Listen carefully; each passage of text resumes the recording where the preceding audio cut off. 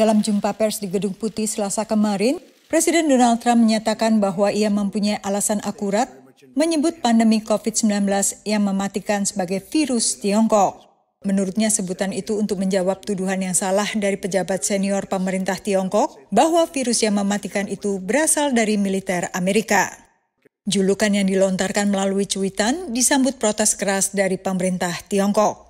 Sedangkan Menteri Luar Negeri Amerika Serikat menjawab protes itu dengan merujuk pada kebijakan awal pemerintah Tiongkok dalam menangani krisis. We, we know that the first government to be aware of the Wuhan virus was the Chinese government. That imposes a special responsibility to raise the flag. Namun menurut pengamat politik, apa pun alasannya julukan virus corona sebagai virus Tiongkok tidak membantu dalam menangani krisis. It's a virus that originated in China but I mean, it doesn't make it a Chinese virus, and it also adds to stigmatizing of people of Chinese descent as well.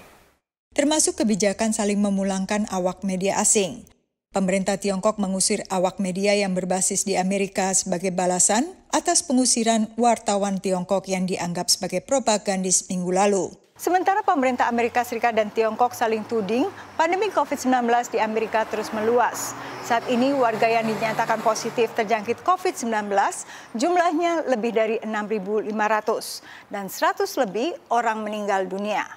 Untuk itu pemerintah Amerika Serikat menekankan pentingnya partisipasi warga membantu mengatasi penyebaran virus dengan social distancing atau saling menjaga jarak dan tetap tinggal di rumah sedikitnya 15 hari ke depan. Presiden Trump juga memperlakukan undang-undang darurat untuk mengatasi kekurangan dan kesulitan produksi peralatan medis untuk menangani pandemi. Sedangkan untuk mengatasi dampaknya pada perekonomian, pemerintahan Trump mempertimbangkan untuk segera mengirim uang langsung ke warga Amerika untuk meringankan pukulan ekonomi akibat pandemi virus corona.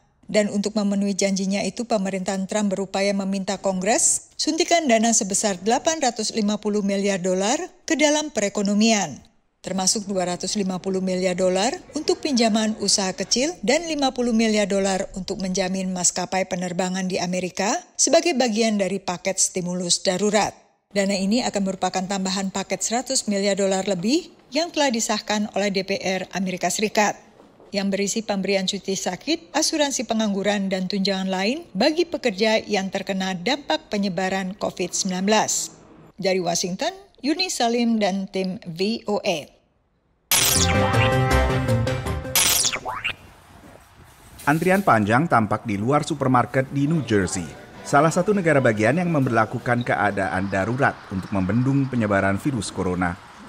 I'm a little concerned at the overall panic. Uh, I am pregnant um, and I'm due to give birth um, at the end of May. Gitu masuk berbagai kebutuhan pokok seperti roti, susu, dan tisu toilet sudah lenyap dari rak-rak toko. I expected crowds. I, I was right. A lot of things were cleaned out, which is to be expected. I'm just glad I got most of the things I came looking for. Pemandangan serupa terlihat di ibu kota Amerika Serikat, Washington DC. Antrian panjang tampak hingga luar supermarket. Yeah, man. I'm, I'm here with my older brother. We came here to get some groceries. You know, the whole coronavirus thing going on. You know, trying to make sure we alright for the next two to three weeks. Warga umumnya khawatir bila kegiatan di luar rumah lebih dibatasi lagi. Seperti yang terjadi di sejumlah negara Eropa yang telah memperlakukan karantina. I mean, I'm not too worried, but I don't want to, if we get put on a lockdown, I want to make sure I have food. Situasinya sama di pantai barat Amerika. Di Los Angeles, negara bagian California, warga pun memborong sembako, tisu toilet, dan penyanitasi tangan. Wali kota setempat meminta warga tidak menimbun makanan. Hoarding is hurting our community, so please don't do that.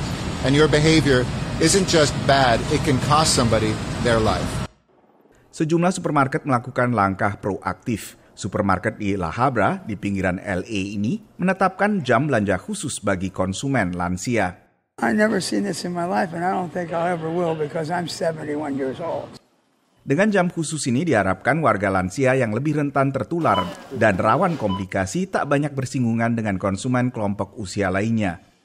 It makes me feel sad for one uh, that that uh, that things are coming to this, unfortunately. But it does make me feel also good that a store like Northgate uh, is uh, taking it upon themselves to help us out. Hopefully, with this, other uh, retail grocery outlets, not only in our city but throughout the Southland, hopefully will open up for them and for uh, the physically challenged and for uh, uh, women that are pregnant and looking to get the necessities that they need.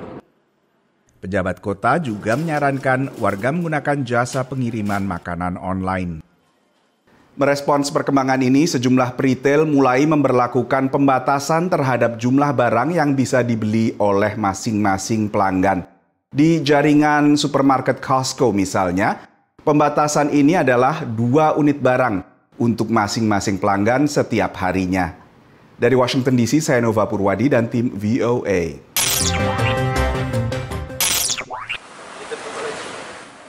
Selama periode tiga minggu terakhir, kantor imigrasi kelas 1 TP1 Tanjung Perak Surabaya memberikan izin tinggal darurat kepada warga negara asing asal Cina yang mengalami overstay. Hal ini disebabkan para WNA Cina ini belum bisa kembali ke negaranya karena bandara setempat masih menutup akses keluar masuk ke negara tersebut. Dampak dari mewabahnya virus corona atau COVID-19.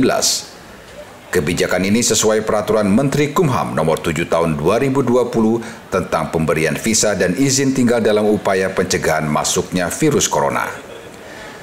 Sedikitnya ada 72 WNA Cina yang saat ini mendapat izin darurat untuk tinggal di Surabaya. Pihak imigrasi juga menggratiskan seluruh biaya overstay dari denda 1 juta rupiah per harinya. Hal ini diketahui saat 72 WNA Cina melapor untuk mengajukan perpanjangan izin tinggal yang hanya berlaku selama tiga bulan. Sementara saat virus COVID-19 mewabah, para WNA sudah berada di Indonesia. Kita berikan izin tinggal darurat sebanyak 72 WNA Cina. Terus sejak kapan Pak boleh tahu? Uh, sejak tiga minggu yang lalu. Tiga minggu yang lalu itu sekitar izin tinggalnya sampai kapan?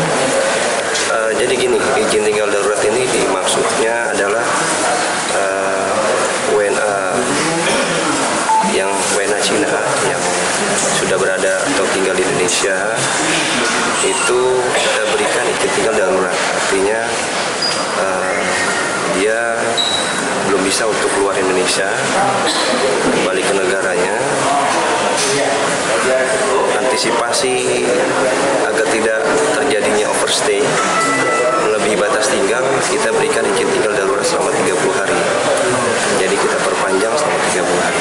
Pertimbangannya apa mungkin pertimbangan khusus apa pertimbangannya adalah karena memang akses penerbangan oleh pemerintah uh, ditutup sementara 72 WNA Cina yang sudah berada di Indonesia mendapat izin tinggal darurat selama 30 hari ke depan sampai ada pemberitahuan lebih lanjut dari pemerintah pusat. Sementara hingga kini pihak imigrasi belum menerima laporan atau pengajuan perpanjangan izin tinggal dari WNA asal negara selain Cina. Dari Surabaya, Jawa Timur, kontributor Nusantara TV Yusnia Sakti melaporkan.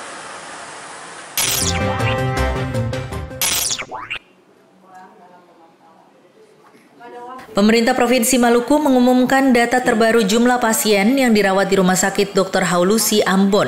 Jika sebelumnya pasien dengan status ODP satu orang, kini jumlahnya bertambah menjadi tiga orang. Dari jumlah tersebut, dua pasien terbaru adalah pasangan suami istri berkebangsaan Jepang. Dua pasien ini dirawat di rumah sakit sejak 16 Maret kemarin.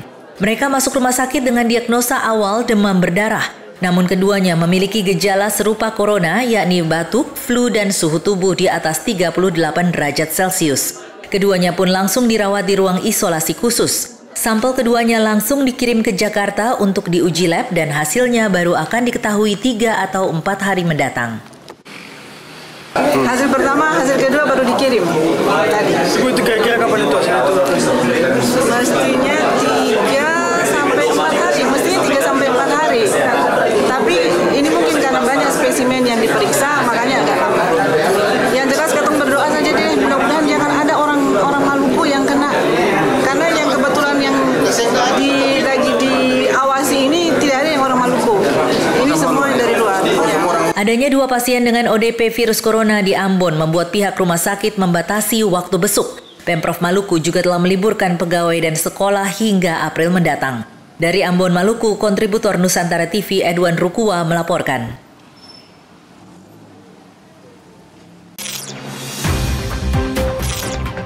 Pemirsa tetaplah bersama kami di Nusantara Sepekan karena informasi tentang pemerintah Indonesia yang menyiapkan Wisma Atlet Kemayoran sebagai rumah sakit corona akan hadir sesaat lagi.